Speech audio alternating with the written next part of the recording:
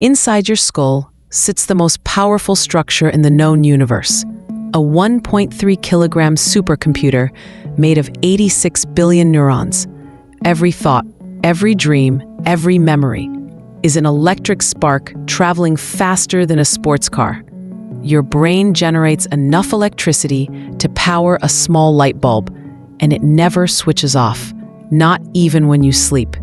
This is the engine. Your heart will beat over 2.5 billion times in your life. Pumping blood through a network long enough to wrap around Earth twice.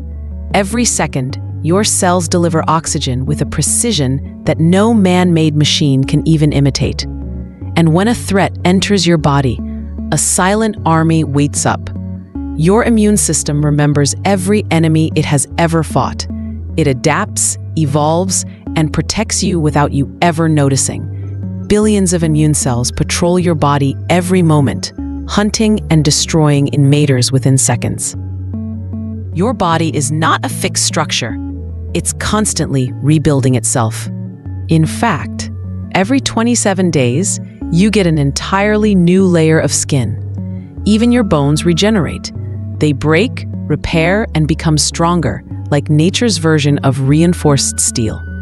Inside you lives a hidden universe, 39 trillion microorganisms that digest food, boost your mood, and even influence your decisions. And all of this is controlled by DNA, a 3 billion letter code that decides how you look, heal, grow, and survive. A code so precise. Changing just one letter can alter an entire life. But here's the craziest part. Every seven years, almost every cell in your body has been replaced. You're literally not the same person you used to be. You are a walking miracle, a self-healing, self-learning, self-evolving machine made from stardust. So the next time you doubt yourself, remember what your body is capable of. You're not just alive, you are extraordinary.